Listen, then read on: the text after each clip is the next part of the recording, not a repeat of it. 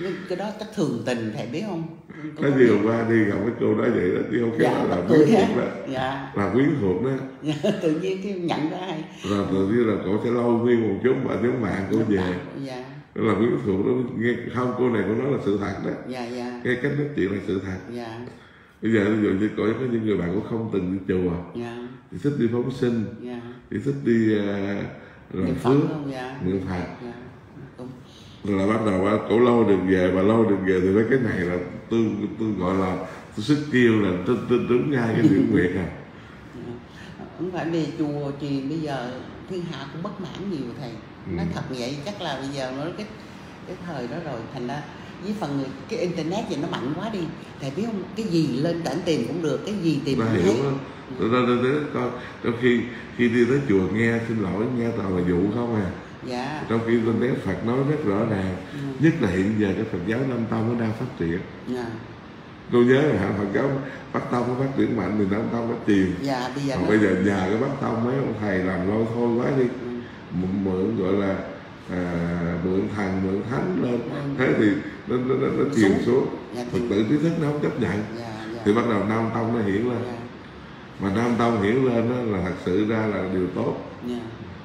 Thì cái gốc dạ nó cái, cái nó đơn giản. Nó đơn giản. Bây giờ thành ra nếu Phật tử biết á, là Phật tử phải dung bò cái gốc lại. Dạ. Hãy lo tự nhiên cái gốc chứ nếu không có nó tróc cái gốc. Dạ đúng thành ra chấp nhận cho Phật giáo Bắc Tông nó đi xuống đi. Dạ dạ. Chấp nhận cuộc đời mà nó có thịnh nó có suy dạ dạ. Mình cũng không, không có trách gì được. Dạ. thật ra thời Đức Phật cũng vậy thôi. Dạ. Mà thời chư tổ mình cũng vậy thôi. Dạ. Có những lúc của Phật giáo nó cũng suy tàn. Dạ. Chấp nhận cho mấy ông thầy lâu thôi nó xuất hiện đi dạ xuất hiện để cho Phật tử nó bất mãn cuối cùng nó đi tìm cái gốc. Dạ cái gốc. Thì bây giờ dung bò là cái gốc mà cái gốc Phật giáo năm truyền Phật giáo nguyên thủy này nó chỉ gốc tứ diệu đế này dạ dạ. Cái căn bản của nó căn bản tứ diệu đế bắt chánh đạo thôi. Dạ, tứ niệm xứ chứ. Tứ niệm xứ bắt chánh đạo. Nhưng mà nói chung nó nằm trong tứ diệu đế. Dạ. Còn Phật tử cô thì chỉ tu tứ niệm xứ bắt chánh đạo là chính. Dạ. Cho nên cái những cái phái thiền mà vê sắc ra rồi đó dạ dạ. họ, họ mở rầm rộ lên. Dạ như vậy đây là một cái mai chứ một cái cái cái, cái cứu tốt lại cứu lại cái Cứu cái, lại. dạ cứu lại đức cái cái đạo của đức là đạo. Để cho họ thấy được cái gốc. Dạ dạ dạ. Chứ bây giờ mà cứ nói theo đại thừa nó hai mặt. Không nó là lưỡi, lưỡi, dao hai lưỡi dao hai lưỡi. dạ dạ. Một không là họ xói sâu vào tâm hồn Dạ. hai là họ phóng ngoại họ mê tín. Dạ. Thì hỏi cô thật sự mấy người xói sâu vào tâm hồn. Dạ. Dạ. Họ là phóng ngoại mê tín. Dạ thành ra tương lai á dạ chùa chiền nó họ sẽ bán hàng loạt dạ. Mà những cái pháp thiền á những cái nơi mà ta tịnh tu á thì nó sẽ phát triển cũng được. dạ. Nhất là cái vùng đất đất hải ngoại này dạ. Nó nhờ những cái tập đoàn của người tây tạng. Nó nhờ những cái người thái lan. Nó nhờ những người lào philippines người myanmar. Họ qua bên tuy vậy chứ họ rất là mạnh. Họ, họ đi từ từ. Chỉ có ngôn ngữ họ bắt đầu thôi nhưng mà rất là mạnh là họ tiếp cận được cái người bản xứ. Dạ. Còn Phật giáo đại thừa mình tuy vậy chứ khó tiếp cận người bản xứ. Dạ. Tại vì người bản xứ họ vô chùa họ nghe toàn chuông mỏ họ nghe là không có biết cái đầu đó rồi. Dạ. Tôi có đi thăm tôi thăm thôi thăm những cái pháp của người tu mà gọi là tu thiền gọi là thiền, tiểu thừa thiền đó gọi là vipassana. Vipassana vipassana dạ.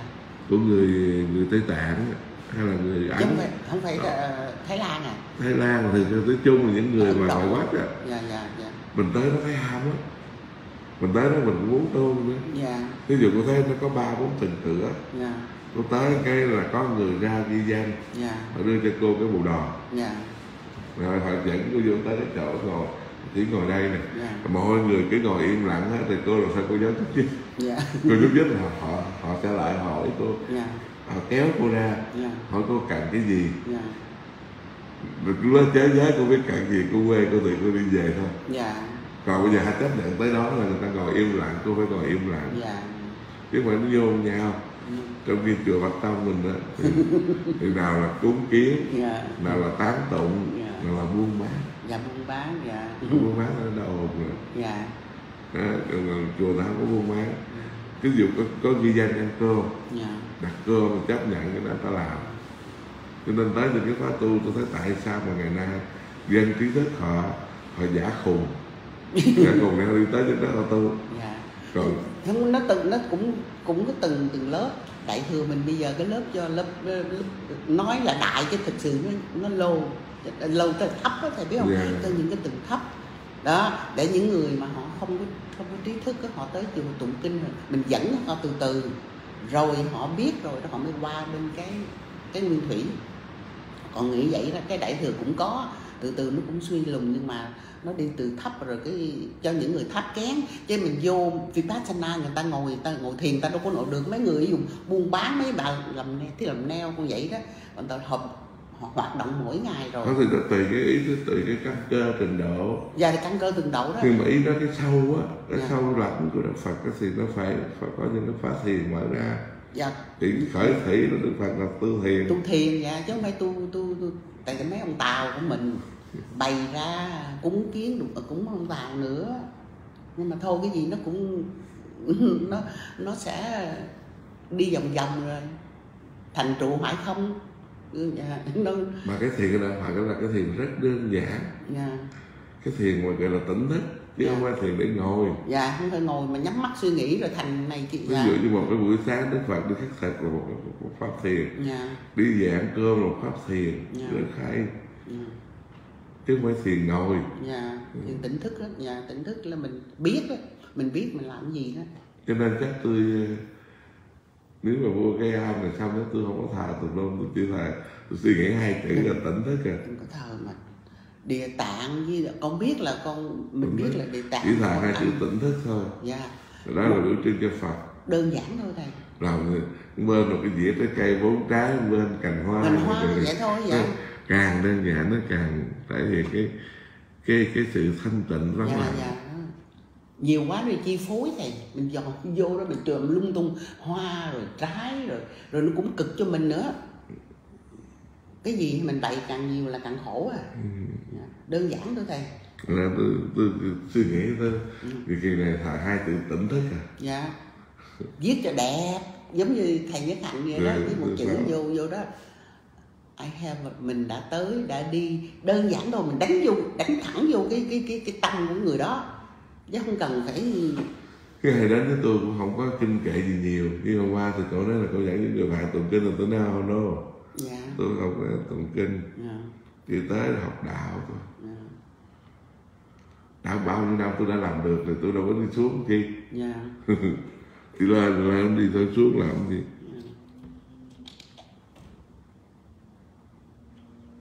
nổi trình độ ơi chứ còn mà mình cũng phải rủ người ta tới chùa chứ ở nhà người ta làm gì? Ví dụ mấy bà hôm qua con nghĩ thí dụ thí dụ đi. Mình nói mà mình họ không có chùa tới họ không có gặp nhau vui vẻ. Ở nhà họ cũng khùng. Dạ. Dạ. Ở xứ mỹ này khác nha thì họ vậy thì cái mái chùa cũng mỗi một thầy có một cái duyên có duyên dạ. một trách nhiệm của một phần khác nhau. Có một cách dạy khác nhau nha không không cho nên qua tôi gặp bà này tôi nói phật bà tên cũng đẹp đó bảo liên nữa. Bảo liên dạ. Rồi thành ra thành ra cái, ở đây là cái quyến thuộc của mình nè. Ngộ lắm những người cái quyến thuộc cái gặp nhau nghiệp ngộ lắm. Dạ. Tự nhiên người ta họ tìm tới thấy không? Dạ. Tôi đang ngồi đó khiến ngồi ngồi chơi đó thôi. Mà dạ. Nhưng mà được cái cổ theo năm năm một con trai là quý lắm.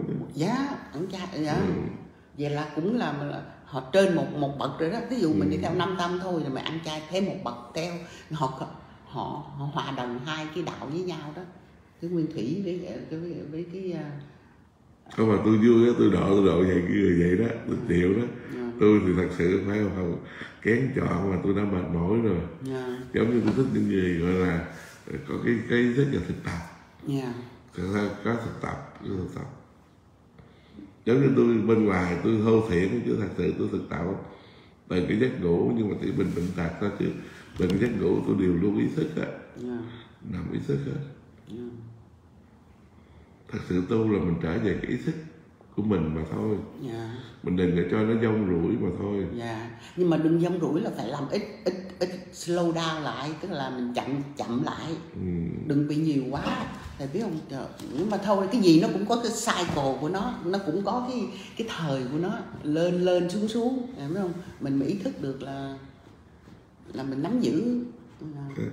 Ví dụ như ai cũng lo sợ cái mua nhà thầy hội vàng gọi nhà gọi đâu mà gọi đó ý là gọi là ba căn điều trả giá mua không dạ. nó không được đó thấy không? Dạ. Ý là để cho nó phải tôi dội cái trả giá đó mà còn mua không được đó.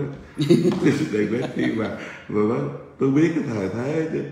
Nhưng mà nhà thật sự á nó chỉ xuống giai đoạn nào thôi.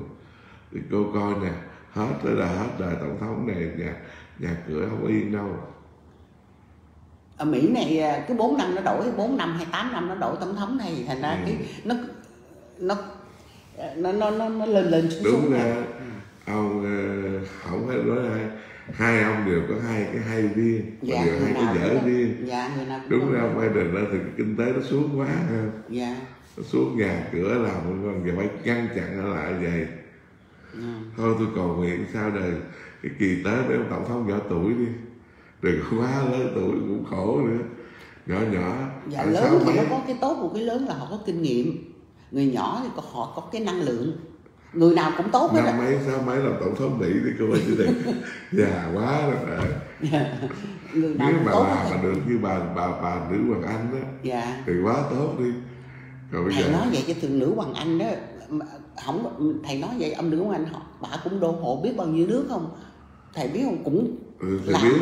Dạ. Là cũng còn cũng gọi là tham quyền cố vị dạ bà bà bà đột bà bà, mà ấy cũng làm người giỏi người nữ vậy là giỏi. Giỏi dạ giỏi. Thì đó người nào cũng có cái giỏi cái dở. Trời bà cũng đô hộ mấy mấy chục nước ờ, nước. Bà bà cũng không tốt cũng có mà xấu cũng có. Bây giờ mình thấy thì chính trị lúc nào nó cũng vậy Dạ. có chính trị không cái nào một thứ hết trơn. Dạ. Chính trị là, là cái nào cũng phải có âm mưu và thủ đoạn hết. Thủ đoạn đó dạ bà giết nói thật sự cho mỹ hồi xưa nó cũng qua nó cũng đổ hộ nước mình. Bây giờ tại vì mình mang ơn nó tại mình ở nước nó chứ còn xưa nó cũng giết bao nhiêu người. Dạ. ai cũng vậy thầy ơi. Ai cũng hãy chính trị nhà chính trị vô. chiến thành vì chứ ra là bởi vậy cho nên thấy không? Thất bại sai lầm là cái cái các cái chú bác bên này cứ cứ nghĩ một chiều á. Dạ. cho nó nghĩ một chiều thất bại đó. Dạ à, là cuối cùng giờ chống chống cho đã là cuối cùng mình chống mình thôi. Sống thực sống người tu thì không làm chính trị làm chính trị không còn ngăn cách người tu. Ví dụ như chúng tôi là không dứt phát giờ cỡ gì cỡ không dính tới chính trị. Đừng có dạy mà dính tới chính trị. Dạ. Bởi vì chỉ có chân lý nó mới muôn đời chính trị nó là tức thời. Tạm thời mà dạ mình đã theo Phật là chân lý rồi thì chính trị làm cái gì? Thành ra tôi bất cười khi tôi giảng tôi chửi tôi nói ai mà nói tôi chính trị đó nói tôi theo theo cộng sản là ngu mà nói tôi theo cộng hòa là ngục tôi tại tôi dạy tôi theo ông nào? Dạ. Chân lý đó là muôn đời chỉ có cái cái chính trị nó tức thời mình đã theo Phật rồi. Chứ đúng ra là theo Phật có một cái lời lời tin không có thề nhưng mà có lời nguyện rất là lớn phải không? Dạ. Quy Phật vĩnh mất quy thiên thần quý vật. Dạ. Rồi là mình quy Phật là có theo đảng quá thậm chí ví dụ như cái nước Mỹ này nếu tôi có thi quốc tịch rồi tôi quốc tịch tôi cũng không đi bầu nữa. Bởi vì thứ tự do không phải một lá phiếu mình là đủ. Mình đâu có cái gì phải đi bầu. Mà ai cũng nói thầy vậy rồi không người nào đi bầu hết. Thì cái, cái không người riêng mà cái người tu thôi. Dạ người tu. Riêng cái người tu thôi người xuất gia thôi. Dạ. Chứ còn người đời thì phải làm. Dạ. Còn người xuất gia như chúng tôi đó. Dạ. Thì nó cũng là không là bao nhiêu. Dạ bởi vì phải chỉ bắt buộc như như một cái nước nào đó dạ thì mình phải làm trúng nhiệm vụ công nhân. Dạ bây giờ nước này nó cho tự do. Mình không thích hai ông. Dạ. hai ông không thích gì mình không đi bầu chuyện rất là bình thường. Dạ. Ờ, nói về chính trị nói về về ờ, ấy ngay cả tôn giáo cũng vậy. Nói chính trị tôn giáo là nó có nhiều nhiều mặt. Hai thứ hai thứ điều gì mà hết. Dạ nhiều mặt. Đạo Phật là đạo giáo chứ không phải tôn giáo à còn lại thì mình xen dự biết là nó tôn giáo chứ. Tôn giáo, đạo Phật dạ. là đạo giáo đàng hoàng à. Là cái đạo dạy cho người ta cái lẽ sống. Là con đường. Dạ. Là con đường. Nhưng mà con đường nó cũng có nhiều ngắt nghẽo vậy thầy. Thấy không nó là một chân lý tại chữ đạo nó ba nghĩa. Dạ. Đạo là con đường đạo là bổn phận đạo là chân lý. Dạ. Dạ. Cái đạo này là là là cái chân lý Dạ. dạy cho người ta một cái lẽ sống chứ không nói con đường được. Dạ là, là lý tánh tuyệt đối đó. Dạ con đường là con đường con đường là người mới sư cơ. Cho nên chữ đạo trong thiền hoa giải thích ba nghĩa đàng hoàng. Dạ. Đạo là bổn phận ở đạo là là con đường. Dạ. Đạo là bổn phận và cuối cùng đạo là chân lý. Chân lý dạ. Đạo phật là chân lý. Dạ. Trở về cái lẽ sống thật của chính mình. Ừ. còn những cái gì mà mình mình mình buông lung á mong lung là đều sống ảo hết. Dạ sống thật là như thật tri như thật kiến như, như thật kiến giải. Ờ, mình mình thấy như vậy mình biết như vậy rồi mình kiến giải nó như vậy rồi thôi. Ừ. mình đừng có dạy dột mình mình làm ngược cái cái pháp. Dạ. Chứ cái pháp nó dạng pháp đó là sanh già bệnh chết mà cô muốn cãi cái đó sao sao cãi được? Dạ. Dạng pháp đó là cái chân lý đó. đó là dạ. chân lý. Dạ dạ không không có con người được dạ. là vậy còn vạn vật là thành trụ ngoại không? Dạ. Anh thấy không? Bây giờ mình cãi đó. Ví dụ như cái dạng vật này vũ trụ này nó sản sinh ra biển. Dạ. Bây giờ mình đi lấp biển thì làm sao nó không thả không thiệt hại được. Dạ. Thấy nó có lợi lợi nhưng mà nó không phải là đánh đổi nó thiệt hại. Dạ. Rồi dời no lấp biển. Ừ. cho nên mình đừng có xen vào cái tánh cái như thị của nó. Dạ cho nên vì vậy mà đạo Phật hay đưa lên từ là thập như thị đó. thành như vậy dạ. Rồi hoặc là thập quyền duyên khởi. Dạ. Rồi cái thập quyền khởi hay lắm mà. Tới bây giờ là tôi chưa dám giảng nữa. nó sâu lắm. Nhưng mà nó sâu nhưng cũng có người hiểu vậy thầy. Mà cái hiểu duyên khởi hiểu được là thập quyền duyên khởi rồi dạ, đó. duyên khởi đó dạ. hiểu được thập quyền duyên khởi rồi là hiểu dường như toàn bộ thông thái các bộ kinh. Dạ. Từ nam truyền tới bắc truyền. Mà tới giờ là tôi chưa tôi chưa chưa dám tại vì nó sâu lắm dạ. Nó nhiều cái được gọi là tư duy để mà giải thích cho nó ra thập quyền duyên khởi. Dạ. Nó nằm trong kinh quan nghiêm á. Quan nghiêm chứ không phải cái không phải cái, ờ, gì đó. Duy ma duy ma cật không phải. Không quan nghiêm. Dạ quan nghiêm. Tại vì giải thập duyên khởi dường như lý pháp giới sự pháp giới. Sự sự pháp giới lý sự pháp giới. Dụ giờ thập quyền duyên khởi nó là một là tất cả tất cả là một. Cái đó là thôi cũng suy nghĩ đó là đời. nằm trong thập quyền duyên khởi đó. Dạ dạ dạ. Đó, hỏi hai chuyện dễ. Dạ. Nhất nhất thiết địa nhất cứu địa. Dạ. Một một một một mảnh đất là một hàng hàng hà sa đất đều như nhau. Dạ. Mà bây giờ giảng sao cho Phật tử hiểu? À. Có có đơn tên- giản như mấy mấy nó mấy tính là đã có quế độ ở đây. Ta Dạ. bà đã cực lạc ở phương tây kia. Dạ. mà bây giờ là đất cõi là đất hàng hà xa cõi đều như nhau không tịnh độ ta bà. Dạ. Thì họ đâu chấp nhận chỉ người trí thôi chứ người người người có cơ thấp họ, họ, nghe họ quan mang. Dạ dạ. Không để Ừ. cho tay dẫn rồi mấy thầy hay là những người họ muốn nghe đó. Ừ. dạ. Hay những người hồi thiền họ họ họ họ quán cái đó thầy. Họ quán về cái rồi tôi vô quyền khởi ta bà và tịnh độ là một Thì- thì sự thật mà nếu bà mà. sanh tử là một vì Dạ. những cái rõ ràng như vậy. Dạ. Mà thật sự nó rõ ràng vậy nhưng mà không có ai cũng đạt tới được. Dạ. Sanh tử là sanh tử niết bàn là niết bàn dạ. Ta bà là ta bà cực lạc cực lạc sao nó là một. Dạ. Khó. Bởi vì thằng quyền khởi nó, nó, nó vượt cái đối đãi luôn. Không cái đó là duy thức học rồi phải không thầy? Tại vì Không, một duy thức- là hai hai là một duy thức học nó là pháp tướng dạ còn cái này nó thuộc về pháp tánh rồi à, dạ. Nó không còn pháp tướng pháp nữa tướng nữa dạ. Ví dụ cái vũ trụ này nó là một cái nó khác. Dạ. Ngoài vũ trụ này mình chưa đặt ra một vấn đề gì khác. Dạ. Thì trong vũ trụ này thì cái gì trong vũ trụ này nó nó duyên khởi nó hình thành? Dạ. Mà hãy nó duyên khởi nó hình thành nó là giả danh. Dạ. Tác sự giả danh thì nó có. Dạ. Nó có nó rồi giả có. Dạ tới ngày nào đó giống như hiện giờ mình đang ngồi trên quả đất này nó giống như bong bóng nó bay lơ lửng trong cái bầu thái hư này thôi. Dạ. Thì- nha. Thành ra tôi nói vui. Cho nên nói là nó đụng chạm vào bầu lai. Thành ra ổng cũng lửng lửng sao mà ổng dám đặt thì cao tờ vũ trụ. Dạ vũ trụ làm gì có bờ dạ. Nhưng mà ông nội này ông làm cũng quái đản. Ra ông ông không còn bờ vũ trụ đâu mà ông tới bờ nào đâu biết mình ở trong vũ trụ. Dạ. Nhưng vũ trụ thì nó không có bến bờ. Dạ. Tại nó bao la quá. Nó bao la chưa ai khám phá được bến bờ. Dạ. Thậm chí Phật thì còn chưa đạt chưa đạt tới bởi vì nó ngoài cái hư không thì nó còn cái gì? Dạ. Chưa ai biết tới vì ngoài hư không còn cái gì? Dạ. Vậy chứ về cha Trung Nguyên chứ cha Ngô Tấn Kiệt. Dạ. Cái tưởng tượng ra đó kìa. Gặp mấy khùng khùng vậy đó cà trung nguyên đó. Dạ. Cà phê trung dạ, nguyên cà phê trung nguyên đó dạ. Cái bên này bên này có thiên long sơn của tư của ngô tấn kiệt mà. Hôm qua nghe bà diệu lành bà nhắc tôi nó chết rồi bà này lơ mơ là khùng nữa rồi bà nhắc thiên long sơn ngô tấn kiệt rồi rồi. Gặp mấy thằng khùng nó nó nó, nó nói đạo nó nói chuyện về cái quần hoàng thiên hậu thổ cái chuyện anh nói anh nói ngoài sức tưởng tượng người ta người ta, ta nghe người ta sợ người ta tin. Nhưng mà Phật không cho nói tào lao như vậy. Dạ. Cái chuyện hiện tại trước mắt nè. Chứ đi nói chuyện mà trên trời đất vậy ví dụ nói là chừng nào đánh chừng nào quả địa cầu nó sụp thì kệ nó.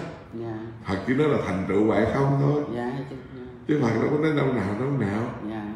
Bởi vì ví dụ như cái con người này có thể nếu như qua địa cầu thì có thể là 5 triệu năm đi mình nói xin lỗi một số có thể là nó mới hư hoại. Dạ. Nhưng mà cái trí não con người này nó quá thông minh. Dạ. Nó, nó thông minh quá nó làm đủ thứ trên cái nó có thể 3 triệu năm rồi. dạ. Rồi cũng có thể cái trí tuệ con người đã đủ khả năng để nó cứu lại cái cái cái sinh thái. Dạ. Thì nó có thể kéo dài 6 triệu năm. Dạ. Thấy không? Cho nên á cuối cùng cái thành quả mà cái quả địa cầu này nó thành tựu hay không nó như vậy đó nhưng mà một phần là do con người đóng góp vô. Dạ. Bởi vì bây giờ nè hiện giờ cái quả địa cầu nó đang cái môi trường sinh thái nó đang đang bị hoại nó diệt đang nè. dạ. Đó thì nếu như con người mà kịp thời dạ. mà cùng nhau ý thức dạ. mà trồng lại những cái cây để có cái cái, cái thở Dạ. bớt đi cái chạy xe khói Dạ. bây giờ nó có vụ chạy xe điện đó. Dạ thì đó. dạ. bây giờ những cái mà nếu con người mà phát minh mà sáng chế là để kịp cứu cứu quả địa cầu này quả cầu này nó có thể nó kéo dài nhưng mà cũng chưa hẳn là nó kéo dài ra để lợi lạc dạ. Nhiều khi nó kéo dài ra nó khổ đau chuyện khác. Dạ chuyện khác hay là nó trở thành một cái khác. Dạ một cái cái hình thái khác dạ. Thế cho nên mình mình giờ mình không nói được. Thôi thì mình cứ nói cái hiện tại giờ mình sống. Con người mình sống không tới trăm năm Dạ. thì mình lo chuyện chuyện cao nhất là trăm năm thôi. Nhưng mà đừng lo chuyện ngàn năm biết không? Dạ. nó khổ là người mình. Người ta còn lo lo lo chuyện ngàn năm đó. Dạ sáng nay ăn uống gì ta? Thầy muốn ăn cái gì? Thôi tôi thì chắc ăn cái lặt vặt là vặt con cũng thích ăn lặt vặt là có gì ăn ở đó chứ cũng không có. Ồ, cái cô cô lành cô nói sáng nay thầy muốn bánh mì cũng mua bánh mì tới cho thầy. Thôi cô muốn mày hả? Cũng nói con hôm qua con hỏi con hỏi lúc đó thầy ngủ thì sao rồi? Con nói con không biết thầy muốn ăn gì thầy ăn phải không? Bánh mì bánh mì thì cái chạy ra đây mà lái xe chạy ra ăn mì muốn mì mới ăn gì chấm sữa cũng ngon. Không bánh mì nó dồn được lắm dạ, nó dồn á nó dồn á dạ. Họ dồn vô mình mua năm ổ cho một ổ mình, mình về mà ăn với cái gì mì không đó thầy. Ngon lắm mà dồn sẵn cho mình rồi. Dồn cái gì đó. Dồn mì rồi chả rồi cái nọ. Vậy hả? Đủ á thầy đi thì chút nữa rồi chua. Chạy mua con chạy con có biết đâu mua trời đất bây giờ ra cái chợ chợ thì không nó có chỗ bán của nó chỗ người Việt Nam á. Thầy biết tên gì không? Dạ lật vô trong google là mình biết liền à. Hỏi hỏi cô lành cô biết không thầy ăn chưa? chắc chỗ mua mà. Vậy hả? Thì chắc là thầy thầy cái điện thoại á. Hôm qua thầy hỏi mà cổ hỏi con con nói mà con nói chứ không biết thầy ăn cái gì. Đó là tôi tôi tôi thích là bánh mì Việt Nam. Hả? Đúng tôi nghĩ rồi bên đây nhà cửa nó, nó khác hơn bên bển. Mua xong tôi về bên đây tôi cũng tịnh dưỡng à. Một là đi làm. Dạ. Không đi làm thì tịnh dưỡng đi làm tính kiếm việc gì đi làm á kể cho nó vui. Một là theo nguyên quan làm làm nhà. Hai là tôi coi mấy cái tiệm tàu hũ á, nó cần người chuyên tàu hũ đó Dạ. nó lành cô. Đi làm một ngày mấy tiếng nó lành. Dạ làm một tiếng để mình có contribute cho cái cái cái à, cái, cái nước Mỹ này hay là mình có có tiền để mình trả, trả tiền Ừ. tắc tiền vậy thầy nghĩa là không phải tôi làm. suy nghĩ phải làm. Dạ phải làm một mấy tiếng đồng hồ nhưng mà rồi về nhà thì nó được cái cái nó được cái cảnh đó là nó nóng nên tôi không có ra ngoài đường. Thì tôi ở trong nhà tôi nghiên cứu thì cũng được dạ thầy viết sách thầy giảng. Thật sự cái nhà ngày qua tôi rất là gửi nhưng mà nó xa thôi. Cái nhà nào? Cái nhà mở cái nhà tại cái nhà mà cả mà hai trăm mấy đó hai trăm Hai trăm tám mươi đó. Thầy thích hả? Mà tôi thích là cái cái vàng mướp vàng. Cái vàng mướp mình mình xây đưa 200 bạc rồi xây. biết rồi nhưng mà ý nó vô nó cái hay nó cả cả hữu tình dạ thấy cái bầu rồi thấy thấy rồi cái nhà chiều qua cũng được đó dạ. Nhưng mà được dạo qua thì lại nó được cái chỗ đậu xe tôi đâu cần cái chỗ đậu xe. Dạ. Tôi có xe đâu tôi cần dạ. Không nhưng mà người ta người ta người ta ở là cần đậu xe. Chỗ sao quan trọng lắm á? Chỗ đây đâu nha. Quan trọng cũng quan trọng lắm. Nhưng mà thôi từ từ nó tới thầy ơi. Ừ. từ từ nó tới. Nhà thì nhiều nhiều loại lắm. Ừ. được cái này mất cái kia. Mà thầy cái nhà cái cái cái nhà bên kia là thầy cho mướn rồi thầy cho mướn rồi họ vô họ dọn vô chưa thầy? Bữa phút sau.